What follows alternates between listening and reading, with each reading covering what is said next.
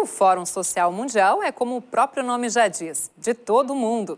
Por isso, nada mais normal do que reunir aqui em Porto Alegre pessoas de várias partes do planeta. Um lugar onde várias nacionalidades se encontram. Alguns vêm de longe e todos têm o que falar. Eu quero fazer parte desse exercício para chegar ao futuro com nova energia e nova perspectiva. I'm from Austria. Eu sou da Áustria e eu represento as variadas redes que buscam paz no mundo.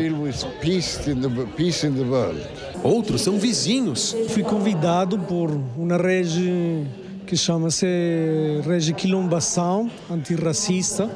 Eu fui convidado porque faço parte dessa rede e é uma rede que está combatendo o racismo aqui no Brasil, mas também na América Latina. Agora tem gente que é praticamente gaúcha. Tá, isso se a gente comparar com quem vem lá do outro lado do continente. Estou representando o Paraná em questão indígena para ter mais conhecimento como que está tá o desenvolvimento do Brasil e a crise. E a gente estou aqui para aprender junto com, os, com outro movimento social também. De onde eles vêm não importa, mas é o que trouxe cada um deles aqui que pode fazer a diferença.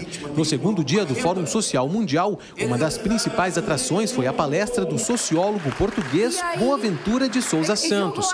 Ao lado de outros painelistas, ele falou sobre globalização, desigualdade e a crise civilizatória.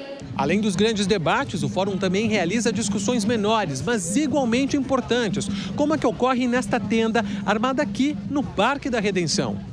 A discussão que a gente está fazendo nesse momento é como é que a gente consegue fazer a mobilização social dentro do contexto atual, né?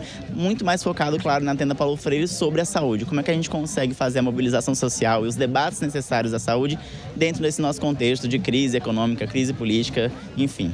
Diversas atividades estão previstas para ocorrer nesta quinta-feira na Redenção. Entre elas, o debate sobre democracia econômica e o empoderamento das comunidades. A programação completa está no site do evento.